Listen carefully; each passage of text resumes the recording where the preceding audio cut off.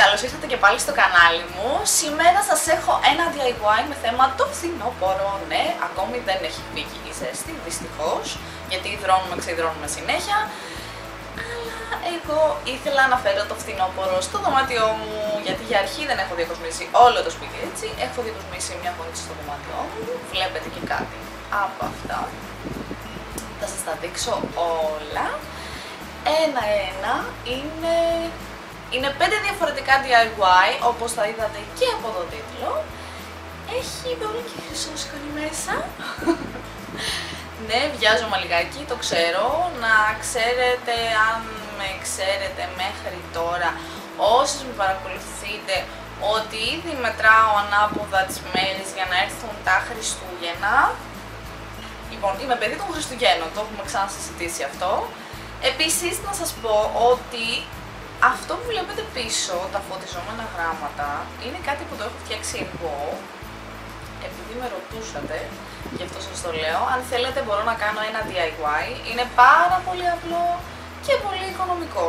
Επίσης θέλω να σας πω οτιδήποτε ιδέα έχετε για DIY ή έχετε δει κάτι έξω ε, σε κάποιο μαγαζί που θέλετε να δοκιμάσω να το φτιάξω, μου στέλνετε μήνυμα, μου αφήνετε σχόλιο από κάτω, επικοινωνείτε μαζί μου στο facebook, στο twitter, στο email, μέσω email και θα χαρώ πάρα πάρα πολύ να το κάνω. Ήδη έχω κάποια βίντεο στα σκαριά, όσοι με έχετε και στο facebook θα ξέρετε τι θα ακολουθήσει.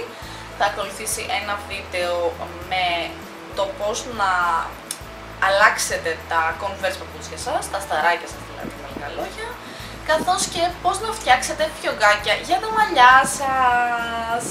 Με έχει πιάσει μια πολυλογία σήμερα και θέλω να σας πω ότι έρχονται και βίντεο make-up tutorial με Halloween θέμα.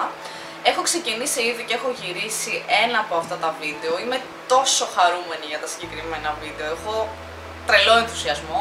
Το πρώτο βίντεο λοιπόν θα είναι για όσες με έχετε δει στο facebook, το ξέρετε φυσικά. Αλλά το επόμενο βίντεο, το, το επόμενο, το, ε, το πρώτο βίντεο από τη σειρά Halloween θα έχει θέμα την ταινία της Disney Hocus Pocus. Είμαι σίγουρη ότι πολλοί και πολλές από εσάς την έχετε δει όπως και εγώ άπειρες φορές. Και ο πρώτος χαρακτήρας που έκανα είναι η Winifred Sanderson. Πάμε να ξεκινήσουμε να δούμε τα tutorial και θα τα πούμε στο τέλος του βίντεο. Και πάμε να ξεκινήσουμε με την αγαπημένη κολοκύθα με glitter. λοιπόν, πήρα ένα κομμάτι δαντέλα, το γέμισα, μπορείτε να το γεμίσετε με ύφασμα ή με τούλι όπως το γέμισα εγώ. Και μετά πήρα πετονιά και προσπάθησα γυρίζοντας τη γύρω γύρω να σχηματίσω κατά κάποιο τρόπο τις γραμμές που έχει η κολοκύθα γύρω γύρω. Εννοείται ότι δεν μπορεί να βγει τέλειο αυτό έτσι, δεν το συζητώ.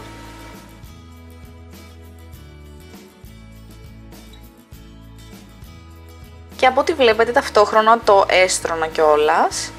Και μετά έκανα 2-3 κόμπους για να κρατήσει καλά. Και αφού το έστρωσα με τα χέρια μου και πάλι για να δημιουργήσω έτσι όσο καλύτερα μπορώ το σχήμα της κολοκύθας αντί για κοτσάνι, επειδή δεν ήθελα να χρησιμοποιήσω κάποιο άλλο υλικό αλλά να το κάνω τελείως υφασμάτινο πήρα ένα κομμάτι πράσινη κορδέλα και δημιούργησα μισό φιόγκο, ναι καλά ακούσατε, μισό φιόγκο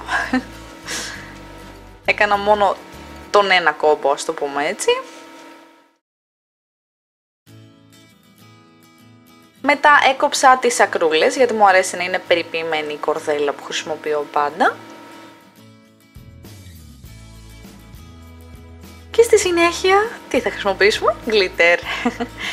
λοιπόν, με ένα πινέλο Άπλωσα σε όλη σχεδόν την επιφάνεια της κολοκύθας γλουτολίνη, είναι η κόλλα που χρησιμοποιούν για να τοποθετήσουν τα πετσαρίες και μετά βούτυξα την κολοκύθα μου μέσα στο glitter. Εννοείται ότι μπορείτε να το κάνετε και με περισσότερο glitter, εγώ ήθελα έτσι να έχει μια πινελιά μόνο, θα μου πεις μια πινελιά, είναι αυτό, σε όλη την κολοκύθα έχεις πάλι glitter, δεν έχει σημασία. Και είναι έτοιμες, παρεπιπτόντως τη μία την έχει χαλάσει η γάτα μου, την άλλη την έχω κρύψει ήδη. Και πάμε στο επόμενο.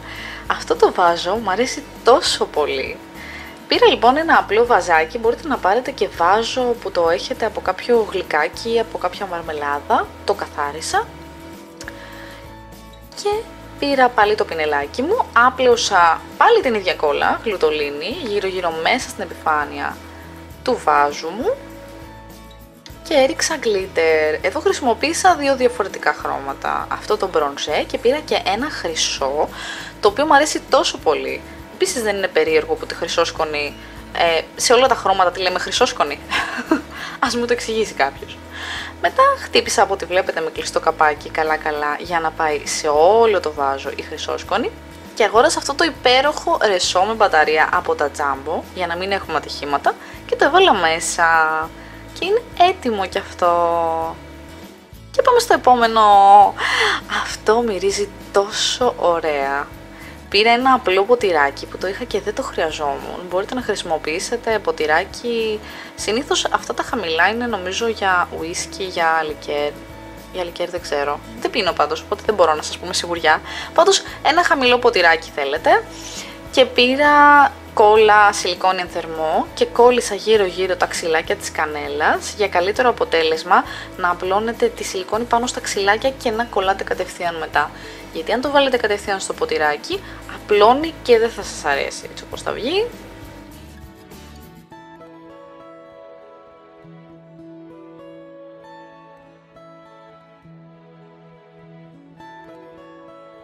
Και μετά πήρα κόκκινη κορδέλα, που ξέρετε πόσο την αγαπώ την κόκκινη κορδέλα, και έκανα έναν πολύ ωραίο φιόγκο, κανονικό αυτή τη φορά, όχι μισό. και στη συνέχεια, για να είναι έτσι περιποιημένη η κορδελίτσα μου, πήρα πάλι το ψαλιδάκι μου και έκοψα τις ακρούλες. Και ένα ρεσό μέσα και είναι φανταστικό, μου αρέσει πάρα πολύ το συγκεκριμένο. Και πάμε στο επόμενο. Αυτό το λάτρεψα. Το λάτρεψα όμως. Πήρα ένα βάζο για λουλούδια, όχι πολύ μεγάλο και πολύ ψηλό. Και τύπωσα από το ίντερνετ ένα φύλλο φθινοπορεινό. Αν το ψάξετε θα το ψάξετε με αυτή την περιγραφή. Και έφτιαξα ένα δικό μου stencil. Έκοψα γύρω γύρω λοιπόν το φύλλο και το περίγραμμά του στην ουσία. Το πήρα, το κόλλησα πάνω στο βάζο με χαρτοτενία από όλες τις πλευρές για να είναι σταθερό και μετά πήρα την ίδια κόλλα που χρησιμοποίησα πριν, τη γλουτολίνη και κάλυψα την επιφάνεια αυτή που έμενε στο σχήμα του φύλου και πήρα το ίδιο glitter, το ίδιο φανταστικό μοναδικό glitter που χρησιμοποίησα και πριν. Αφού στέγνωσε, έβγαλα το stencil και έχει μείνει αυτό το φοβερό σχέδιο κορίτσια και μετά πήρα κουκουνάρες και ξυλάκια από κανέλα και πάλι για να είναι μυρωδάτο. Και τις έβαλα μέσα. Και είναι έτοιμο κι αυτό πόσο μου αρέσει. Πολύ. Το επόμενο και τελευταίο που θέλω να σας δείξω είναι μια κορνίζα που είχα και δεν μου άρεσε και ήθελα να την αλλάξω. Έβγαλα λοιπόν τα καρφάκια γύρω γύρω με προσοχή έβγαλα την φωτογραφία που είχε μέσα, τύπωσα μια φωτογραφία με ένα υπέροχο κλουβάκι με ένα πουλάκι από το ίντερνετ και το έβαλα στην κορνίζα και μετά αφού ξαναέβαλα το πίσω μέρος της κορνίζας, αντί για καρφάκια, έβαλα γύρω γύρω σιλικόνι εν θερμό. Απλά κάντε το με προσοχή για να μην καείτε και να μην σπάσει το τζάμι. Και έχουμε τελειώσει. Πώς σας φαίνεται η γονίτσα μου; Είναι τόσο ζεστή και χουχουλιάρικη, παρόλο που ακόμα δεν έχει έρθει το κρύο. Γιατί δεν έχει έρθει το κρύο ακόμα; Και μου αρέσει τόσο πολύ. Και εννοείται ότι πήγα και αγόρασα και κερί με άρωμα κανέλας, εννοείται. Και είναι έτοιμη η γονίτσα μου. Αν σας άρεσε και θέλετε να κάνω κι άλλο DIY, μου το λέτε στα σχόλια. Αυτά ήταν τα DIY που ήθελα να σας δείξω σήμερα. Ελπίζω να σας άρεσαν. Αν σας άρεσε το συγκεκριμένο βίντεο και θέλετε να δείτε πολύ περισσότερα DIY, πατήστε like ή κάντε share αν σας άρεσε πολύ και με αγαπάτε και θέλετε να μου δείξετε την αγάπη σας. Και μην ξεχνάτε να με ακολουθείτε στο facebook, στο twitter και στο instagram. Μην ξεχνάτε να μπαίνετε και στο blog για νέα post, δεν ξέρω σε ποιο σημείο θα το έχω. Αυτά από μένα για σήμερα. Θα τα πούμε στο επόμενο βίντεο. Θα είναι πολύ πολύ σύντομα. Από μένα, φιλάκια πολλά.